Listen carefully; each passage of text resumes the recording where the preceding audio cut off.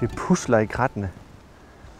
Fordi det vi har, det er jo, her kan man se et af dem, det er jo, der er ekstremt mange fireben herude i Molsbjerge.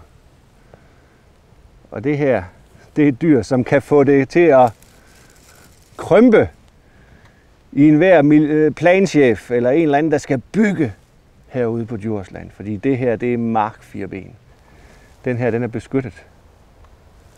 Sådan at der nærmest ikke kan dispenseres fra det.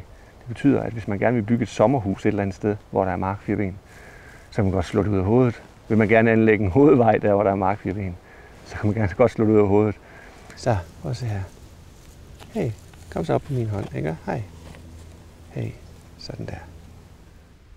Så det gælder altså om lige at holde tungen lige i munden, når, når man finder sådan en, og så finde ud af, jamen, hvad betyder det her for forvaltningen af arealet. Det her, det må ikke gro til i skov, for eksempel, fordi så bliver det jo ikke længere et levested for markfirben. Men den har simpelthen ligget hernede for to måneder siden, som æg hernede i, i bunden her. I, der har mor, hun har gravet æg ned, og så har de ligget og bagt, og så er de simpelthen blevet til nye markfirben.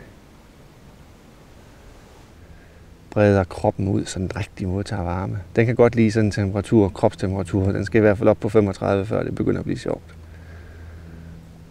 Det er virkelig det mest tåbelige navn til et dyr. Fireben. Kunne vi ikke have fundet på noget, der måske var en lille smule mere præcist?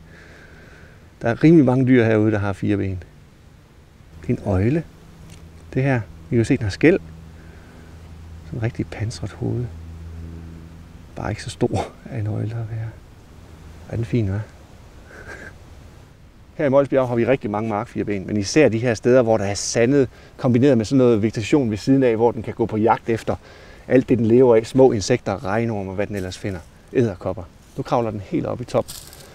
Ja, vegetation sætter sig op sikkert i træet. Åh, oh, vi kan godt lide at klatre lidt. Ja, skal vi lige derop og sidde og få lys op på et, et blad? Ej, eller skal vi på jagt? Jeg kan godt lide markfirben, de er altså fantastisk søde.